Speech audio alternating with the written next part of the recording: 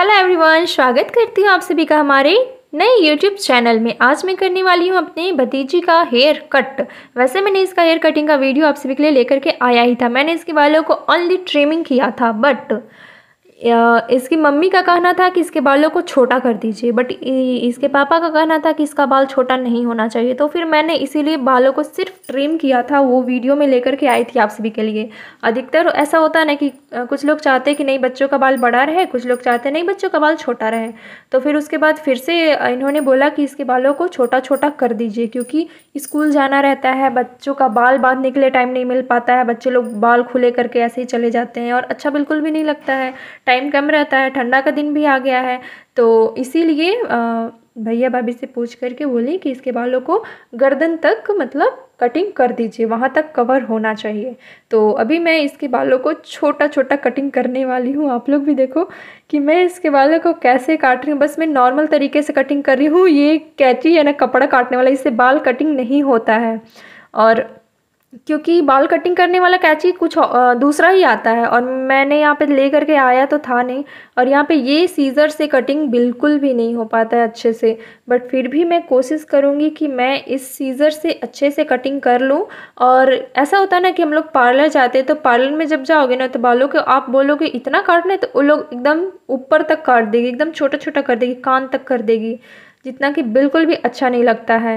जितना आप चाहोगे उतना बाल तो वो काटेगी नहीं, लेकिन हाँ ओवर ज़रूर काट देगी, क्योंकि वो लोग बालों को बेचती भी है। सेल करती है, हर पार्लर वाली बालों को बेच देती है। इसीलिए उन लोग को आप जब बोलिएगा ना कि इतना बाल काटो तो लोग बहुत ज़्यादा बाल काट देती है, ताकि वो लोग बेचेगी तो उन लोग को पैसा मिलेगा। लेकिन इस और यदि आप घर पे बाल कटवाओगे या फिर खुद से काट लोगे तो बहुत ही अच्छी बात है। मैं तो अपने बालों को घर पे ही खुद से काट लेती हूँ, मैं पार्लर नहीं जाती हूँ। या फिर कुछ भी करना है, मैं पार्लर नहीं चाहती जितना हो सके मैं अपना घर पे ही खुद से कर लेती हूँ। जो भी चीज़ें करनी है, मुझे घर पे करती हूँ।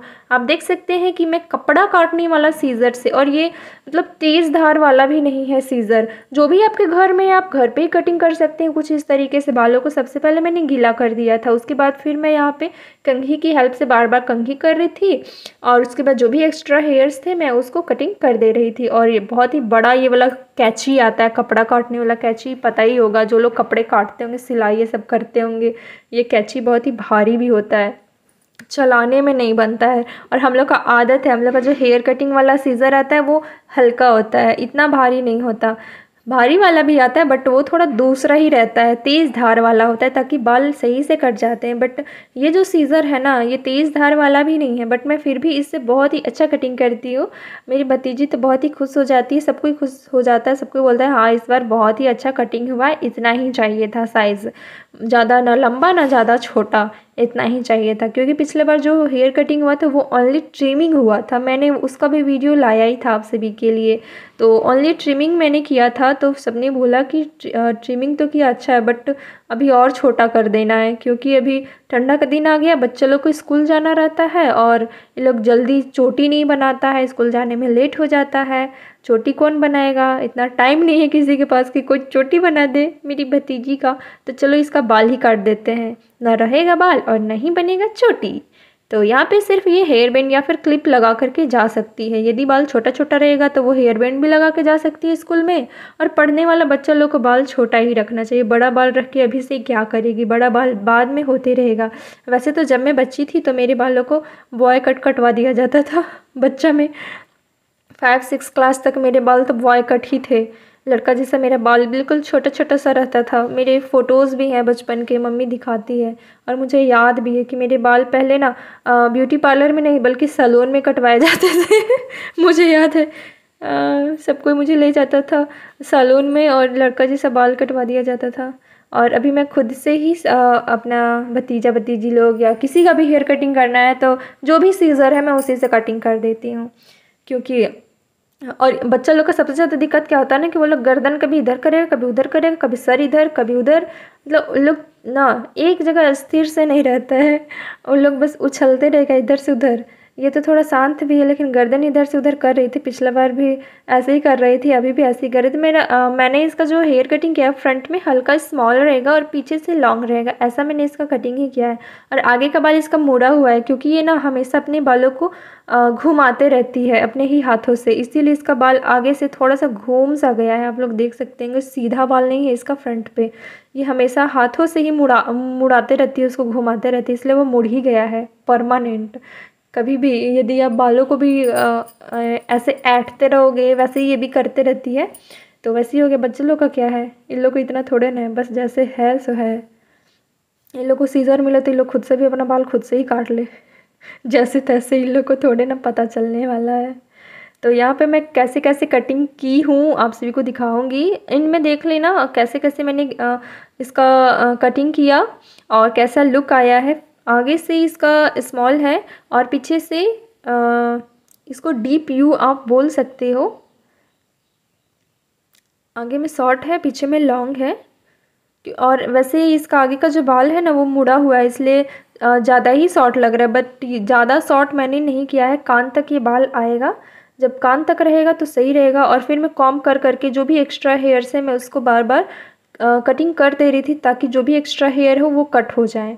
कभी कभी क्या होता है होता है कि जब हम कटिंग भी कर देते हैं, उसके बाद फिर एक दो बाल छूट जाते हैं तो जब हम इस तरीके से यदि दोबारा रीचेक करते हैं तो जो भी एक्स्ट्रा हेयर है या घुसा हुआ बाल है कपड़े में या फिर कहीं से भी तो बार बार कॉम करो, गीले बालों में एकदम स्ट्रेट ये देखो। और जो भी एक्स्ट्रा हेयर होंगे तो वो कट जाएँगे। तो इससे क्या होता है ना कि हमारा बाल एकदम फिनिशिंग कटिंग होता है।